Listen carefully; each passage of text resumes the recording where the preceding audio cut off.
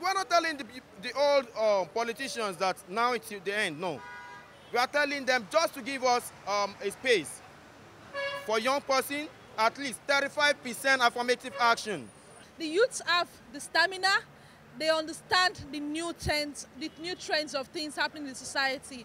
And as well, even if we are running, we feel we should also get the knowledge that is needed to run as well. So we feel that it's high time the market women, the vendors out there support us. Not because they are females, you, you just tell them no, no, no, no. We don't want that. We want uh, gender balance, please.